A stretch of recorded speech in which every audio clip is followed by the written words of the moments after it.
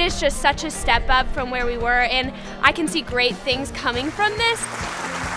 This building has been four years in the making. It is an extension of the Keller Center for Advanced Learning, which is our Career and Technical Education Center here in Keller ISD.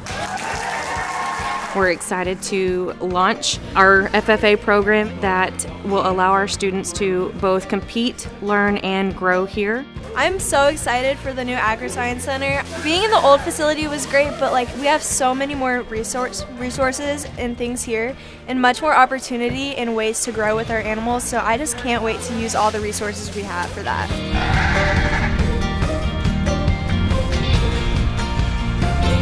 This building is giving us the ability to expand our program, gives them the experience that comes from raising livestock animals that they wouldn't get if they were just keeping things at home. I really want to pursue a career as a livestock veterinarian. So being in this barn, I'm just exposed to so many species and I get to just interact with them on a daily basis. We're thankful for the support that the community has shown us, and we know that this will allow our students to reach new heights in the agriculture community and experiences that we have to offer here in Keller ISD.